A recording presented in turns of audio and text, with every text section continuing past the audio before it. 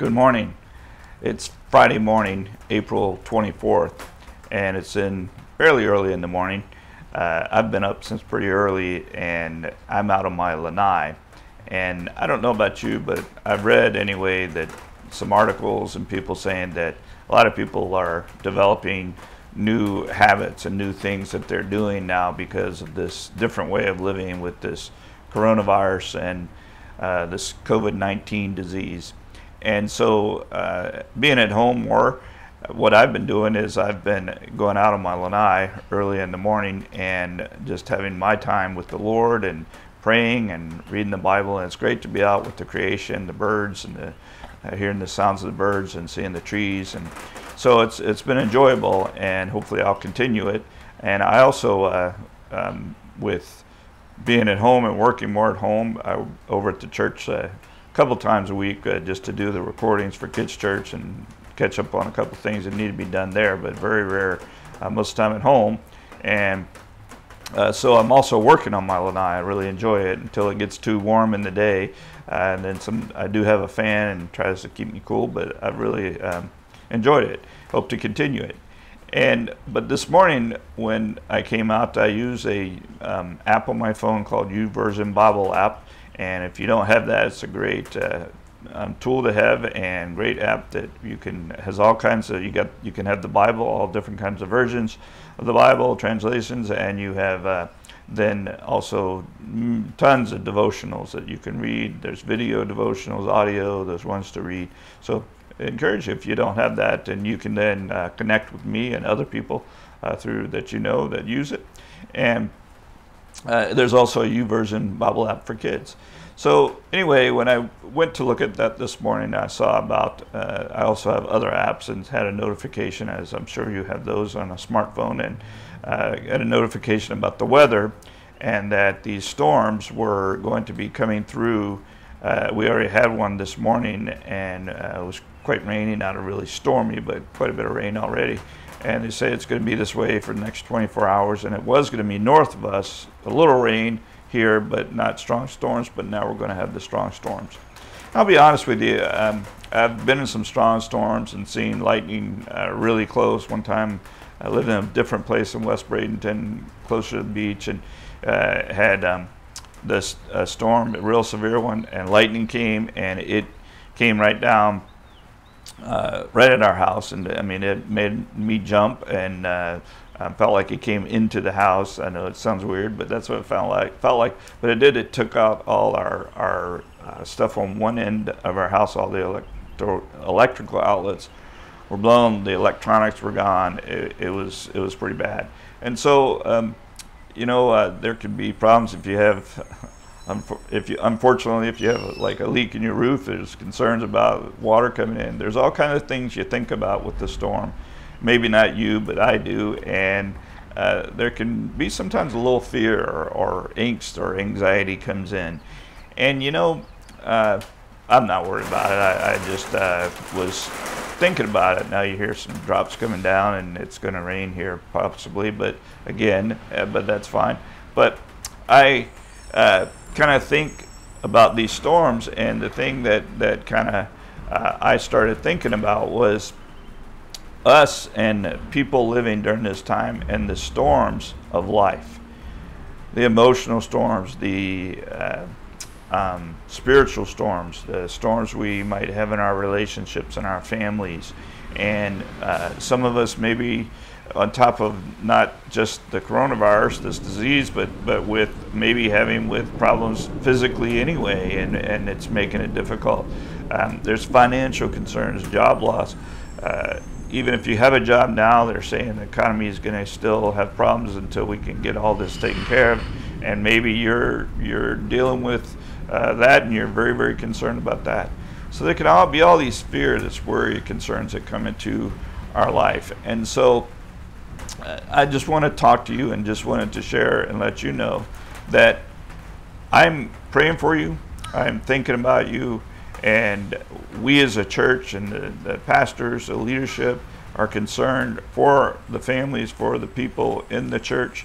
And so I just wanted to reach out this way and to say, I'm praying for you. uh, and concerned for you. And if you have any concerns, have any needs, uh, please don't hesitate to contact us. Call the church, uh, go to the website, bradentoncalvary.org. There's uh, contact us links, there's pray for us links. You can do those. Uh, they um, come to uh, me, and I'm getting things and I'm uh, forwarding them to Pastor Chuck or Pastor Fernando as needed, and we're responding. Uh, we're checking the voicemail recordings at church, and we, we would love to know if you have any concerns. You can email one of us. Um, they're very easy to remember. Just our names, Pastor Chuck, Pastor Mark, Pastor Fernando. Uh, put that first, and then at bradentoncalvary.org, and uh, let us know if you have any concerns or needs. And so we are praying for you. And the other thing I just want to share with the storms of life and these things going on with this coronavirus, COVID 19, if you have different concerns, is you know, uh, Pastor Chuck just preached last Sunday, and hopefully you're seeing some of the Facebook Live uh, messages. And he spoke on Jacob and Esau, but he tied it into even to today of how we don't need to have all this fear because God is in control. God's not surprised by this. God knows what's going on. He is in control. Now, I know that's easy to just kind of say, and sometimes I struggle uh, with looking and thinking of what's going on, what's happening, but God truly is in control. We see so many examples in Scripture. Uh, you can continue to read through and see how God controlled, God took care of that situation.